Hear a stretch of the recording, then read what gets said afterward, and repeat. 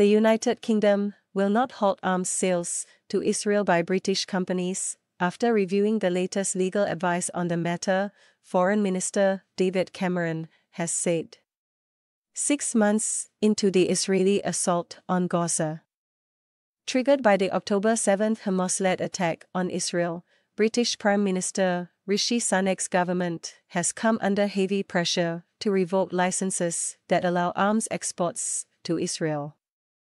The latest assessment leaves our position on export licenses unchanged. This is consistent with the advice that I and other ministers have received, Cameron said on Tuesday at a press conference with his U.S. counterpart Antony Blinken in Washington. D.C., and as ever, we will keep the position under review. Britain supplied £42 million, $53 million of arms to Israel in 2022.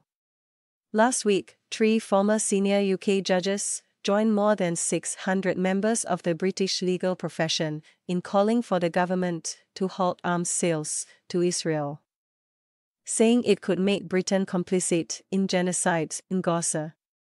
Some opposition political parties in Britain have called for the government to recall Parliament from its current holiday and revoke the export licenses and also to publish the legal advice the government has used to reach its position. This was yet another missed opportunity from David Cameron to move himself and other UK officials away from their current complicity in Israeli war crimes.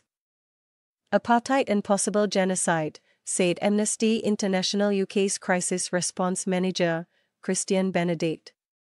Israel denies it has committed war crimes or genocide in its assault on Gaza. And has rejected the use of the term apartheid to describe its treatment of Palestinians.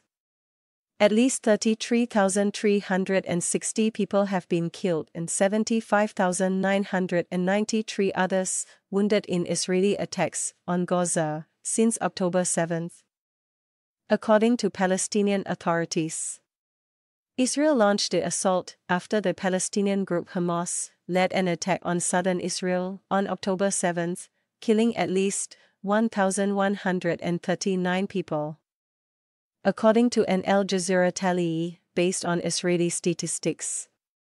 Cameron said Britain continued to have grave concerns around the humanitarian access issue in Gaza. He defended the decision not to publish the legal advice on arms export licenses. He said it was an important principle that ministers act consistently with legal advice without making it public.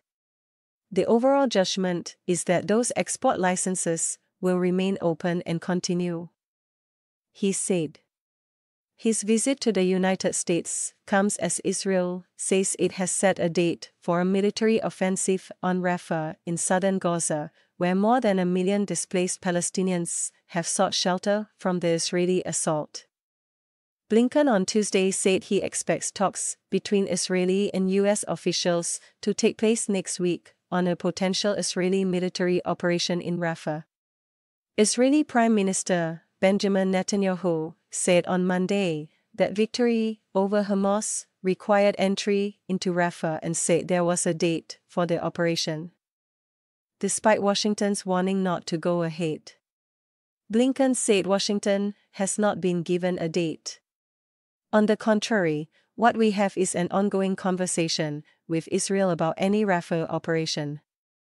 Blinken said, adding that he expected the talks would continue next week. I don't anticipate any actions being taken before those talks, and for that matter, I don't see anything imminent. But there's a lot of work to be done, and it remains a conviction that major military operations in Rafah would be extremely dangerous for civilians who would be caught in harm's way. He said. Blinken also said the U.S. is continuing to work closely with Qatar and Egypt on a potential ceasefire agreement between Israel and Hamas in Gaza. He said that 400 trucks were cleared to go into Gaza on Monday. The most since October 7, when the conflict was triggered.